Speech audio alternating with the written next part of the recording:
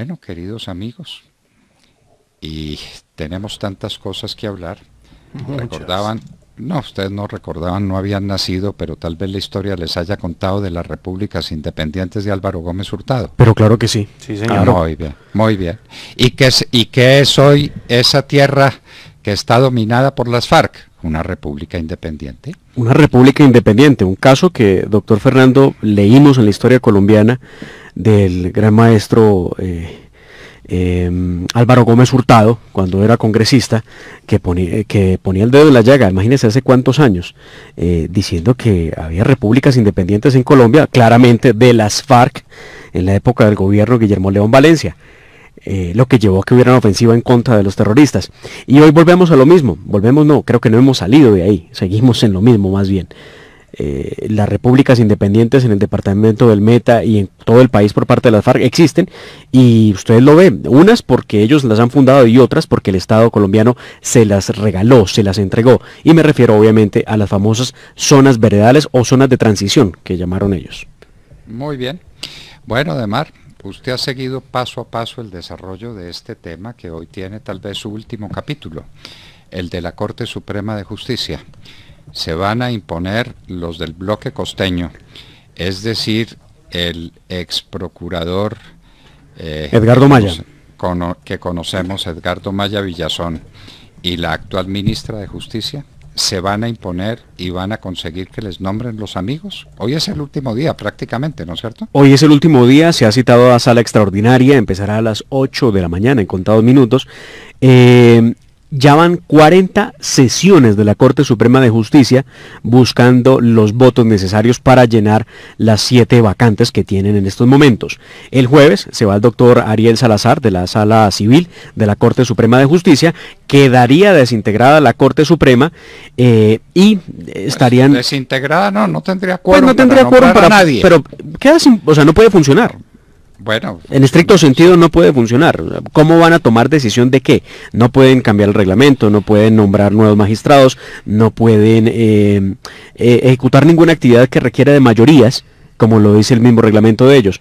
Pero salen inventos, ¿no? Recuerden ustedes, hace una semana habían eh, propuesto alguno de ellos que se hiciera pública la votación para poder poner en evidencia a los magistrados que se que le ponen palo a la rueda y no los deja elegir a los palo a la rueda no que no quieren elegir el, el candidato de Edgardo Maya y de la ministra de Justicia eso, eso, no es un palo a la rueda, eso es actuar de acuerdo a su conciencia.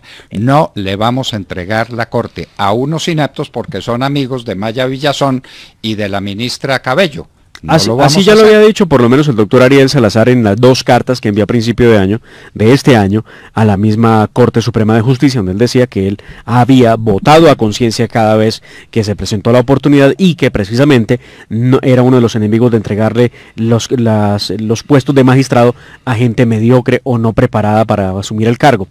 Y eh, el otro asunto es que recuerden ustedes, las vacantes son tres de la sala penal, tres de la sala laboral y una de la sala civil. Hoy el ambiente no es el mejor, no, no se cree, no han logrado elegir presidente y vicepresidente. Empezando por ahí, cosa que es menor y que uno creería, pues puede haber consenso. Pero pues si no hay consenso en lo menor, imagínese usted cómo será para poder elegir un magistrado. Pero salen voces con las que no estamos de acuerdo, que dicen que van a, llevar esto al punto en que el presidente tendrá que decretar la conmoción interior y a través de eso, con un decreto... No cabe para eso, no cabe para eso, no cabe la conmoción interior. Leamos... La conmoción interior es un problema de orden público, un problema de orden público que se resuelve y que hay que enfrentar para enfrentar a las FARC que aparecieron en un determinado sitio y para dotar el ejército de medios. Para eso es la conmoción interior para resolver un problema de reglamento de la Corte Suprema de Justicia no es la conmoción interior. Un problema previsible, además. Ah, pero totalmente. No, un problema que, está ya, sí, que lleva más de ocho meses. Y que lleva mucho tiempo. Sí. Bueno, para pues eso no es la conmoción interior. Pues algunos están apuntándole a la famosa conmoción interior, no vemos de dónde sacan la interpretación del 213 de la Constitución, y para otros la solución transitoriamente estaría en modificar el reglamento para poder eh, tener mayorías, inclusive con 10 eh, magistrados en la Corte, lo que es sencillamente absurdo. Esto ya había ocurrido en la época del expresidente Uribe, cuando se eligió a Vivian Morales como fiscal general de la Nación, la fiscal se cayó en una demanda ante el Consejo Consejo de Estado precisamente por un problema de mayorías y una errada interpretación de lo que podían hacer con el reglamento. El caso es que hoy la Corte se reúne y los augurios no son los mejores para tener magistrados. Mañana les contaremos. Sí, señor. Bueno, le quiero contar, ¿sabe qué esfuerzo han hecho los chinos en Wuhan y sus alrededores para contener, pues, para atender ya a la gente enferma del coronavirus? Óigame esta cifra. Han construido 16 hospitales y 30 mil camas. ¿Oyeron la cifra? 16 hospitales han construido en estas semanas para 30 mil camas. Impresionante. La pregunta es qué va a construir Venezuela cuando le llegue el coronavirus de alguno de esos iraníes que se mantienen allá promoviendo la revolución. No, muy difícil, muy, muy Venezuela, el tema de Venezuela. Venezuela es nuestro gran peligro, es el gran peligro de América. Y para destacar, me gustaría destacar las palabras de Julián Vélez Grisales. Él es un estudiante caleño que vive en Wuhan. No quiso abordar el avión de la Fuerza Aérea Colombiana que está trayendo con nacionales de regreso y pues eh, El argumento es válido, Sergio. Su responsabilidad, claro que sí, es perfectamente válido. Dice que allá recibe todos los elementos necesarios para educarse, la vivienda, los servicios médicos y que no se arriesga a venir a un país que no le puede dar las garantías de salud como de salud. están dando allá.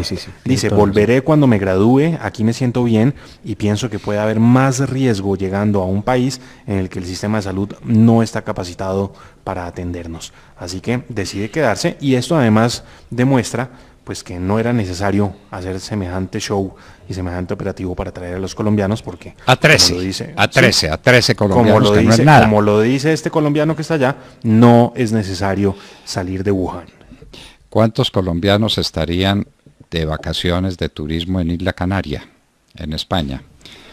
¿oyeron la noticia? apareció un enfermo de coronavirus en un hotel. ¿Qué hicieron? El hotel entero en cuarentena. Ahí los tienen a todos encerrados en el hotel. ¿Cómo le parece la noticia? En cuarentena, un hotel en Isla Canaria, en España. Pues ahí está el testimonio de este colombiano. No es necesario regresar. Y semejante show que se montó. Y además, pues hay que ver entonces cómo va a ser eso. no, no, no. El costo y el costo inicial del viaje, pues puede ser eh, bajo en comparación con eh, lo que podría ocurrir si uno de los pasajeros llega a estar infectado.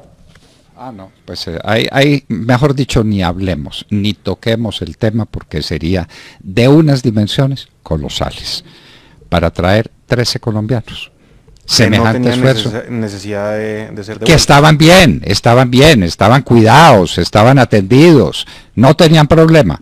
Nos los trajimos para acá, Dios nos tenga Y en momentos en que el mismo Estado es consciente de la gravedad y del peligro que esto representa, porque pues no en vano el Ministerio de Salud ayer dio a conocer que subió de bajo a moderado el riesgo de contagio por coronavirus en Colombia. ah no, y nuestro gran peligro obviamente es Venezuela. Y no contentos con, traerlos a Colombia, los traen al corazón de Colombia, ¿no? Ah, sí, sí, sí, sí. De, más de 8 millones de habitantes. Por eso. Los podrían ¿Cómo le parece? y montarlos en un barco y dejarlos en el Caribe. El sitio de la el sitio de la cuarentena. El, el corazón de Colombia, con 8 millones de personas. Uno no entiende. Uno no entiende, ni el ministro de Salud explica, ni el presidente explica, someternos a semejante peligro a semejante peligro. Bueno, les tengo una noticia para mí muy triste porque es uno de mis ídolos, de las personas que más he admirado en mucho tiempo en el mundo del arte, Plácido Domingo. Lo han acusado de abusos y de, eh, de todas estas cosas, pues él dice que todos los contactos sexuales que tuvo fueron consentidos.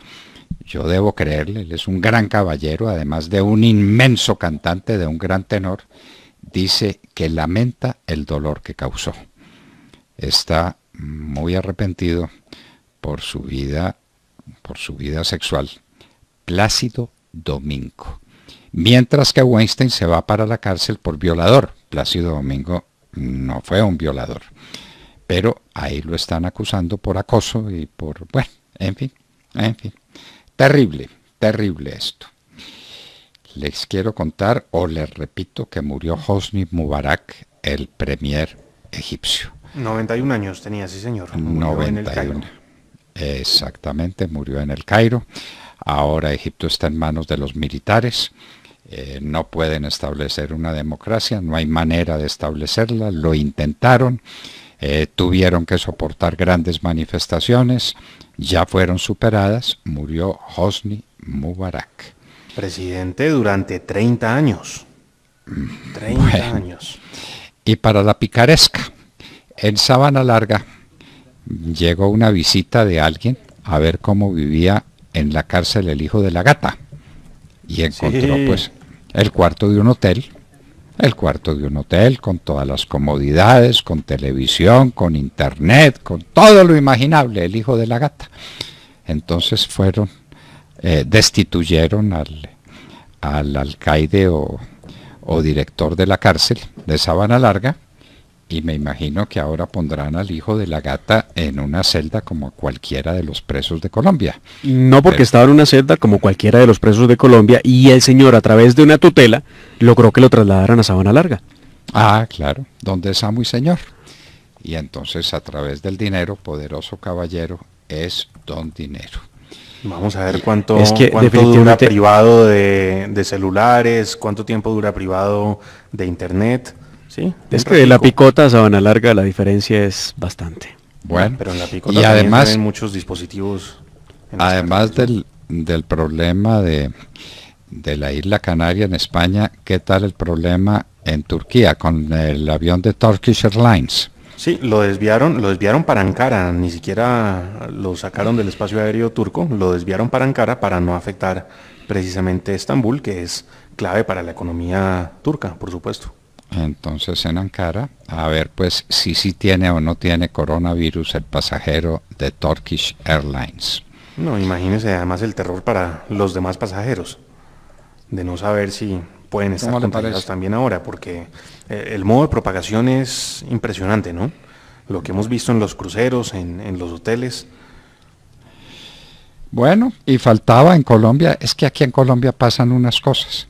Ahora denunciado y abren investigación en la Comisión de Acusaciones, que no ha querido acusar a nadie y que hay una mayoría de, de parlamentarios que son simplemente amigos del Partido Liberal y de Juan Manuel Santos no investigan nada, pero ahora van a investigar al presidente Duque por las declaraciones de Aida Merlano. Pues vea que esto arranca con un proceso que pretende iniciar, porque ya vemos que hay otros elementos de fondo, doctor Fernando, el congresista representante de la Cámara, David Racero, de los decentes, obviamente en contra del presidente Iván Duque por las declaraciones de la prófuga de la justicia y protegida del régimen de Nicolás Maduro, Aida Merlano.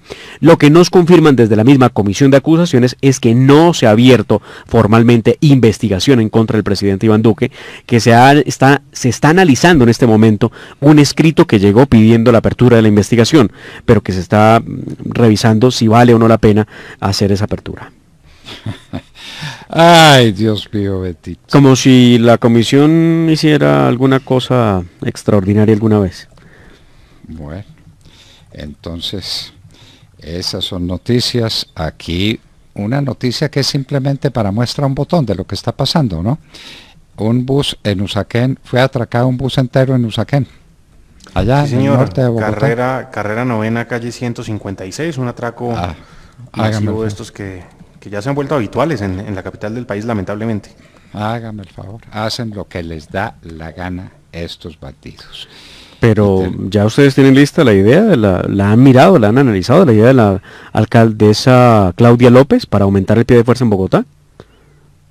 A ver, eh, ¿impuesto a quién? sí, sí, sí, sí, impuesto, sí, señor, impuesto. Ah, este impuesto va a ser eh, optativo, si usted quiere lo paga, si no, no lo paga.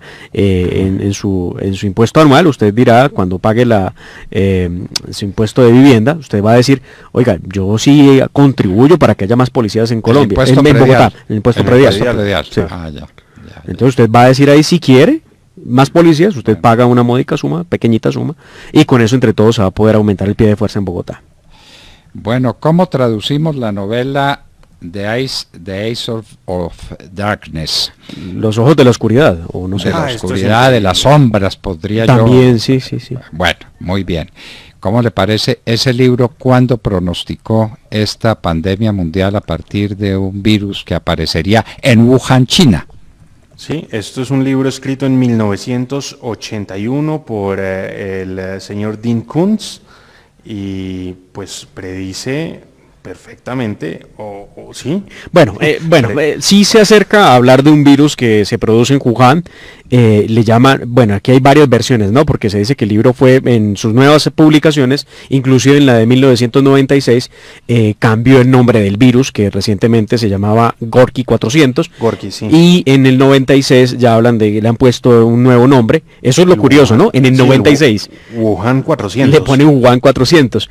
Eh, mm, cuando el virus se refiere al, al virus, perdón, en la novela se refiere al virus respecto de su letalidad o la incubación. Y en ese tema sí no coincide el libro con, con la realidad. Pero no coincide, pero, habla del año 2020 específicamente, eh, del año 2020 y habla de un virus que pues eh, deriva en una neumonía. Es impresionante. ustedes vieron la, página, lo, que cuenta, lo que se narra, se habla de un arma biológica, ¿no? Bueno, arma biológica. Sí, sí, sí. Arma biológica, arma de quién, de dónde apareció, no nos han podido contar si del murciélago, del caldo de murciélago, de dónde demonios brotó este coronavirus que tiene en ascuas el mundo entero. La caída de las bolsas ayer fue brutal, el petróleo cayó el 5%, hoy el comportamiento de las bolsas parece más alentador menos Y atención porque desde Europa llegan eh, nuevas noticias con respecto al coronavirus. Austria está confirmando sus dos primeros casos. Así que... Austria. Austria, sí señor. No, pandemia. Esto va a ser una pandemia. Austria también. Bueno, de ahí el saltico a Alemania. Que Dios, que Dios nos libre y... Es muy fácil. Y el tema de Venezuela, doctor Londoño, creo que Venezuela, Venezuela es el talón de Aquiles, es el gran peligro por el contacto permanente que tiene con gente de Irán y con gente de China y con gente de, todas esas regiones que quieren y por la y por la perfecta eh, incapacidad para responder ante esto porque uno dice bueno en Colombia mal que bien tenemos tenemos ah. recursos podemos eh, medio organizarnos ah. pero ah. pero en Venezuela pero hombre, vamos a traer a 13 personas y se nos ocurre ponerlas a hacer cuarentena en Bogotá. En Bogotá y no sabemos aún dónde, una, siquiera, ¿no? Una insensatez parecida a quién se le ocurre. ¿A quién? ¿A quién? Traerla al corazón de Colombia, donde hay 8 millones de personas, eh, traer la posibilidad de un virus. Pues la posibilidad es que a los 13 que traen, que no son 14, ya se disminuyó a 13, a los 13 que traen los, eh, eh, los van a poner en cuarentena, luego si hay peligro. Claro que hay peligro. Claro, claro, por supuesto. Bueno, muy bien. Y Samper está muy aburrido con las novelas sobre eh, narcos, ¿no es cierto? Es Lo que no se aburrió fue de recibir y recibir y recibir dinero para hacerse elegir presidente de la República. Dinero de los Rodríguez Orejuela. Y de tomarse fotos con los guerrilleros de las FARC, el doctor Fernando. Porque pues él es clave en todo este proceso, ¿no? pero sobre todo el origen de su, de su mandato. Mire, es, él escribe en su cuenta de Twitter lo siguiente, eh, me permito leerles, eh, las expresiones son obviamente de él. Me mamé de las series de narcos de la televisión y Netflix. Me mamé de que me pregunten por sus personajes cuando salgo de Colombia. Oiga, ¿será que le dicen, oiga, usted quién es de, de, los que están ahí? Como si aquí no existieran héroes de verdad, no sé a qué héroe se refiera. Me mamé de sus prepagos, de sus ametralladoras, de sus haciendas hechizas, no más series de narcos. Le hablan, senador. Por eso, eh, por eso, ¿Sí? decir, estoy muy arrepentido por haberme hecho elegir con la plata de ellos. ¿No? Oiga, es que escribe unas cosas el expresidente. Ah, no, no, es que es de un cinismo, es de un cinismo, cinismo santista. Eso es todo un estilo. Todo lo que pasó pasó a mis espaldas. Y Santos, no, la paz, la paz con todos. Yo le entrego el país a las FARC, pero sea la paz entre todos los colombianos. Pues no, y también el presidente Santos dijo en su momento que todo fue a sus espaldas sobre el tema de Odebrecht. Ah, sí, sí, sí, eso se volvió, se volvió la moda y pues cómo no le van a preguntar a Samper por, por todos los narcos y si para nadie es un secreto la cercanía de, de Samper con ellos, particularmente con los del cartel de Cali, que financiaron la campaña en 1994. Pero recuerde que según sus declaraciones ante la Comisión de la Verdad, todo se trató de una estrategia para desprestigiarlo y para perseguir su campaña política. Vieron anoche eh, en redes sociales eh, Top Ten la entrevista que le hizo la periodista colombo-española a Andrés Felipe Arias. Excelente reportaje, segundo reportaje que entrega Andrés Felipe Arias a los medios de comunicación en Colombia. Sí, señor, entrevista de Salud Hernández. El primer reportaje nos lo dio a nosotros en diciembre, un reportaje que desconcertó mucho a la gente porque no hablamos de ninguna de las cosas que la gente creía que íbamos a hablar.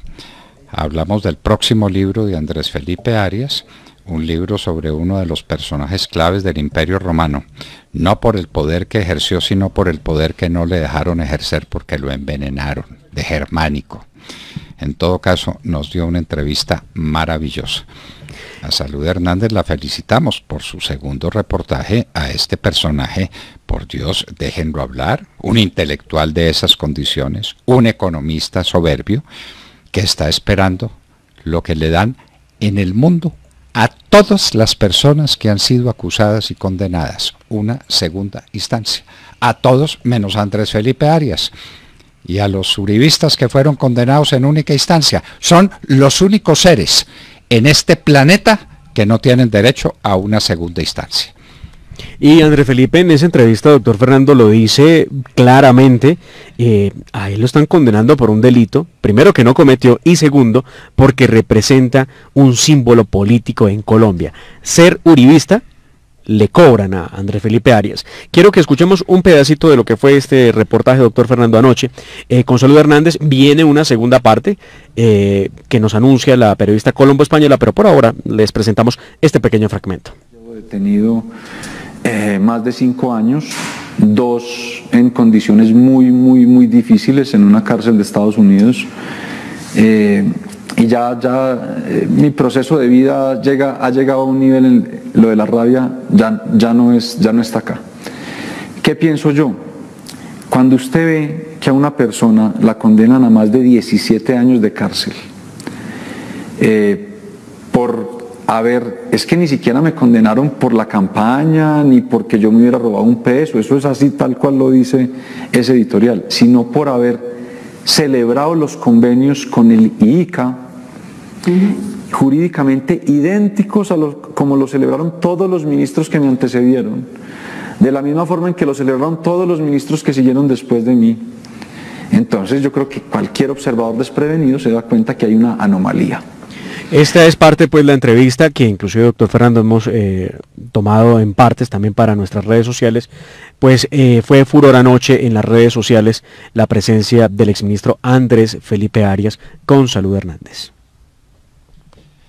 El único, el único que fue condenado por algo que hicieron, todos los ministros de Agricultura que lo antecedieron y todos los que vinieron después. Exactamente lo mismo, un convenio con el ICA igual que todos los convenios. Andrés Felipe Arias no lo dirigió, no otorgó los créditos, que además fueron muy positivos, como lo demuestra inclusive la extrema izquierda. Fueron créditos de un gran impacto en el campo colombiano para la gente más pobre y para que tenga agua en los momentos de sequía. Ahora sí que serán importantes esos créditos que otorgó Andrés Felipe Arias. Él no, él no. El Ministerio de Agricultura, que estaba a cargo de Andrés Felipe Arias, gracias a un convenio con el IICA, repetimos, igual a todos los que celebraron los ministros de Agricultura que lo antecedieron. E igual a los que están celebrando ahora mismo, ahora mismo. Tenemos un nuevo ministro de Agricultura. Él va a celebrar el mismo convenio con el ICA, el mismo. Y no le va a pasar nada. Eso solo es para Andrés Felipe Arias, 17 años de cárcel. Qué horror. Claro, y seguimos esperando que la Corte Constitucional se pronuncie frente a la tutela que presentó el exministro contra la Sala de Casación Penal de la Corte Suprema de Justicia, pero la noticia es que la tutela pasó a sala plena por lo que pues ahora tendrán tres meses más para resolver. La Corte está muy ocupada y al oído les cuento porque en el orden del día no está obviamente el caso Andrés Felipe Arias, pero sí están las demandas que interpuso la doctora Natalia Bernal en, para detener o por lo menos eliminar el tema del aborto en Colombia. Y la, Corte se pronunciará. Sí, señor. Y el Código Penal. el tema se dará a conocer en las próximas horas, probablemente, cuando la Corte tome una decisión respecto de cuál será el futuro del aborto. Si lo piensan, como se ha filtrado de los medios de comunicación, si lo piensan establecer sin ninguna restricción, desde el momento de la gestación hasta los cuatro meses y después de los cuatro meses hasta antes del nacimiento bajo las tres causales que permite la misma Corte en la sentencia del 2006. Eso no es el futuro del aborto, ese es el futuro de miles y miles de niños que van a asesinar con autorización de la Corte Constitucional. Muy poca autorización, ¿no? Para matar a una persona, pues tener uno el voto de, de la señora Fajardo y de y del señor Linares, pues es tener muy poco para aplacar la conciencia, pero van a asesinar a miles. Y obviamente, seguro eso lo ponen en el post, ¿no? Bueno, lo que era en el post. Era lo que faltaba. Usted está. Ah, ah, ah, claro, ay, pero por supuesto. Ah, pero por supuesto, por supuesto. Eso es pro familia, que tiene un nombre bien curioso, ¿no? Y bien, eh, bien dramático. Pro familia. Venga y abortamos, hacemos abortar su criatura, la, la matamos, y, pero eso sí, nos deja los restos para vendérselos bien a quién sabe quién para efectos de investigación científica. Qué maravilla es Profamilia, una partida de asesinos, es lo que son los de Profamilia. Pues todo esto por cuenta además eh, de la ponencia que prepara el magistrado Alejandro Linares. que ya le entregó a sus compañeros y que deberá ser discutida muy probablemente en la sala esta semana. Que convenientemente filtraron a los medios de comunicación. Bueno, Alejandro Linares, hijo de tigre sale rayado, ¿no? Dicen por ah, ah. Oigan, ustedes no se me pueden ir a mí sin hablar de, un temita que es bien importante. Esta, recuerden ustedes, no, venimos de 16 años en los que dos gobiernos duraron pues cada uno 8 años. Y no habíamos estado pendiente de estar pensando, oiga, ya vienen elecciones, cuándo llega el nuevo presidente, cómo será el nuevo Congreso y esta vez el año electoral se adelantó, el año electoral sería para este efecto el 2021, pero estamos en 2020 y vamos aceleradísimos con el tema político en el país. Se habla de divisiones, se habla de peleas al interior del Centro Democrático, obviamente los mismos congresistas del Centro Democrático lo han desmentido, pero los que se dedican a, publicar cosas sobre la política dicen que sí existe esa tal división y ya hablan de un nuevo partido que se llamaría Vox Colombia, eh, una copia del partido obviamente español. Eh, y ahí sitúan al director de este programa, al doctor Fernando Londoño, como una de las cabezas de, Vox. Ay de mí, ay de mí. Era, y los oyentes preguntan, oiga, pregúntele al doctor Londoño él cómo hace esto, o qué es lo pues que hay que hacer. Pues estoy, estoy muy ocupado dirigiendo la hora de la verdad, no he puesto el tiempo que me toma para, mi, mi, contentamiento. Estoy feliz en la hora de la verdad, déjenme tranquilo, siquiera una vez en la vida, déjenme en paz. Bueno, ahí está la respuesta que querían los oyentes. Y otro, y otro temita muy importante, lamentablemente no pudimos hablar con el doctor David Barguil, senador por el Partido Conservador, para preguntarle por Electricaribe, porque es que ese es un tema de una significación inmensa para el país. Y sobre todo hay que preguntar porque el diario El Tiempo sacó un escrito donde hablaba de cuatro causales por las cuales se, se postergaba la adjudicación o la subasta de Electricaribe, como ustedes la quieran llamar. Una de ellas, el no pago de los servicios. A Electricaribe no le pagan. ¿En qué cuantía? ¿De qué magnitud es eso? ¿Quién acostumbró a la gente en la costa a que la energía eléctrica no se paga, sino que se roba? Claro, y es que además, bueno, sí, son los dos, los dos componentes. No se paga y no les cortan el servicio, curioso, curioso, deje usted de pagar un servicio público. Ah, ah vaya, vaya, vaya, córtelo, vaya, córtelo si usted está guapito. Vaya, córtelo. Yo le puedo decir a los, a los de Electricaribe que lo contraten, que usted va y lo corta. Sí, ah, llegue a un pueblo de esos y diga, no, no, no, no, me hacen el favor y me bajan todas esas conexiones que hay ahí. Aquí tengo unos obreros que van a cortar esos cables, adelante, a ver qué le pasa. No, ya, ya hemos visto, ya hemos visto cómo la han emprendido contra valientes funcionarios de Electricaribe cuando eh, legítimamente han eh, intentado cortar el servicio a los morosos. No se puede, es muy difícil cortar el servicio, entonces ese es uno de los factores que hay que tener en cuenta. Y el otro, por supuesto, es el de las conexiones ilegales que abundan en la costa caribe, el robo al sistema eléctrico, a, a la parrilla eléctrica, sí señor.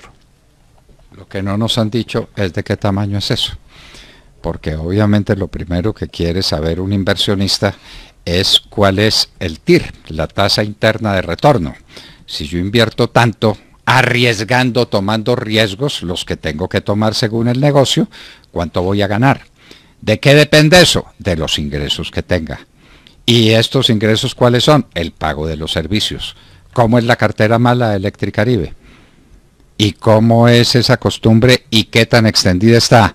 De robarse la energía en pueblos enteros y en lugares enteros donde bajan los cables y los conectan a las casas y, listos. Y, ahí llegó el negocio de Electricaribe. ¿Qué va a pasar entonces? Pues tendrán que evaluarlo eh, con muchísimo detenimiento y con mucho cuidado los, los que están interesados, entre ellos, pues por supuesto EPM, que se apunta a a participar en esto, pero tendrán que evaluar, obviamente, con muchísimo cuidado estos factores, el tema del robo de la energía y el tema de la cartera, la inmensa cartera que tiene Electricaribe y que le resulta muy difícil de recuperar. Bueno, tenemos alguna noticia de la llegada por donde llegó a Austria, Austria, no Australia, ¿no? Austria. Austria, Austria en el corazón de Europa, en el corazón de Europa. ¿En dónde llegaron esos casos, dos casos de coronavirus? No, ah, mire, Croacia también. Se suma ah, Croacia también. Ah, sí, se suma también a la lista. Ah, bueno. Eh, no, están tratando de, hacer el seguimiento. Hasta ahora no ha trascendido información sobre estos dos casos que se presentan, los primeros en presentarse en Austria, y ahora tenemos pues noticia de que también se presentan casos ya en Croacia. Y en Isla, y en Isla Canaria, en España, en un hotel.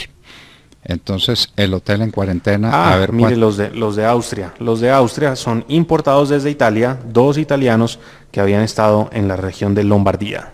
Ah, muy bien, muy bien. Entonces, ya sabemos pues cómo es la cosa y pare usted pues la llegada de italianos y entonces dos italianos infectados llegaron a Austria y entonces Austria entera está en, los problemas en que está. Pandemia mundial, esto no cabe duda ninguna, es la pandemia mundial.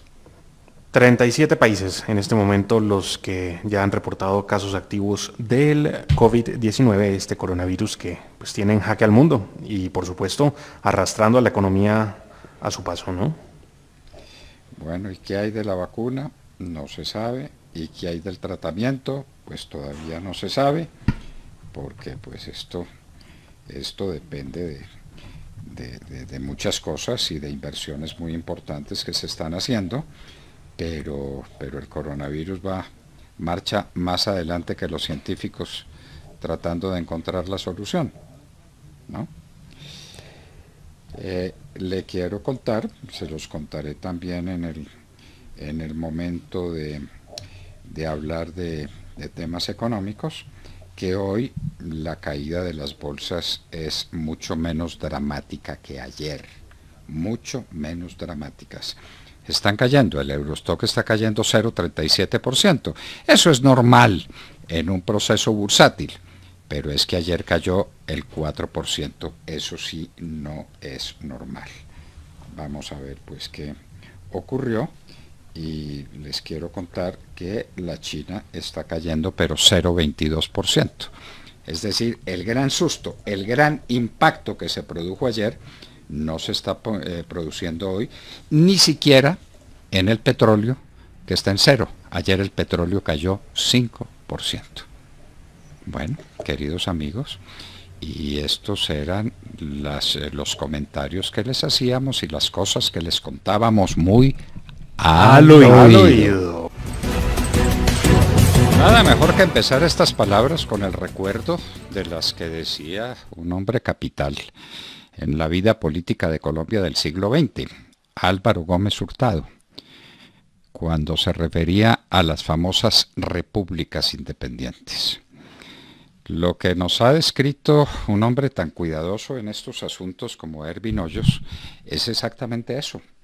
Las FARC montaron repúblicas independientes, volvimos al Caguán, son dueños de todo, se hicieron dueños de las juntas de acción comunal, obviamente con el estímulo de las armas y del dinero. El dinero lo pone la cocaína, las armas se compran también con el dinero de la cocaína y se adueñaron de vastas zonas del territorio nacional. Y son los dueños de la ganadería, y son los dueños de las queserías, y son los dueños de los jóvenes a los que compran con una moto y con una pistola, y gobiernan, y gobiernan y deforestan el bosque para sembrar más coca. Es decir, acaban con la tierra de Colombia, acaban con los ríos a través de la explotación inmisericordia del oro, y están destruyendo la República y son los dueños de parte de la República. El gobierno nacional tiene que oír estas palabras. Aquí no le podemos sacar el quite torero por manoletinas o por chicuelinas a una cuestión de semejante tamaño, de semejante inmenso tamaño. Está conmovida la opinión pública con el incendio en la Macarena y a propósito del incendio en la Macarena nos enteramos que allá manda Gentil Duarte y que mandan los bandidos de las FARC. Son amos y señores de esas tierras. Y están haciendo con ellas lo que saben hacer, destruirlas, apoderarse de ellas para sembrar más coca y para conseguir más dinero, para ser infinitamente ricos e infinitamente poderosos. ¿Y en qué estamos nosotros? A la defensiva. Cuando viene el incendio en las vecindades de Caño Cristales, entonces mandamos bomberos y mandamos gente. Eh, hacemos la operación Artemisa, que es una operación de respuesta. Esa no es una iniciativa que haya tomado el ejército, sino una operación de respuesta a una situación prácticamente incontrolable y mandaron mil hombres y entonces los mil hombres se enfrentan a lo que llaman los campesinos, que no son otra cosa que los esclavos de las FARC, que hacen con ellos lo que les da la gana. Las repúblicas independientes volvieron. Ervin Hoyos nos decía es que volvió la época del Caguán. Más atrás volvieron las repúblicas independientes. Y esta vez más poderosas, mejor organizadas, mejor dispuestas y con un negocio infinito. Alguien dijo, no podemos pelear por esa cifra porque no conocemos su origen, que el asunto de la madera que controla, como lo decía Ervin Hoyos, totalmente las FARC. Desde el momento en que derriban el árbol, en que hacen el trabajo de la sierra con el árbol para sacar los tablones y que lo negocian y que lo mandan por todas partes, todo está bajo el control de las FARC la madera, el oro, los bosques, la cocaína, que es el producto principal, desde luego, las queserías, la ganadería, repúblicas independientes, queridos amigos. El gobierno nacional se tiene que referir al tema. Al señor ministro de Defensa le preguntamos si sabían lo que estaba pasando en los alrededores de Caño Cristales en la Macarena porque no habían hecho nada. Y si no sabían, ¿cómo es posible que se estén enterando por los medios de comunicación? La respuesta fue pasarle el micrófono al comandante de las fuerzas militares para que hablara de los prodigios de la operación Artemisa, que es una operación de respuesta. Es una demostración de que estamos a la defensiva. Los ataques aéreos se acabaron la, aviación la neutralizaron con el escándalo que hicieron con la muerte de unos eh, jovencitos armados hasta los dientes que protegían a un bandido o que acompañaban a un bandido, y desde entonces no volvimos a saber de un solo ataque aéreo. La gran ventaja estratégica que puede tener el gobierno nacional contra estos bandidos, que es el aire, lo despreciamos, ah, porque estamos investigando quién tuvo la culpa de la muerte de esos jóvenes. Y la investigación durará el tiempo suficiente para que las FARC se hayan apoderado, Dios mío, de cuántos miles de hectáreas adicionales. Las repúblicas independientes están aquí, queridos amigos, de regreso. Álvaro Gómez Hurtado hizo el denuncio hace tantos años. Vale recordarlo. Son las repúblicas independientes de las FARC.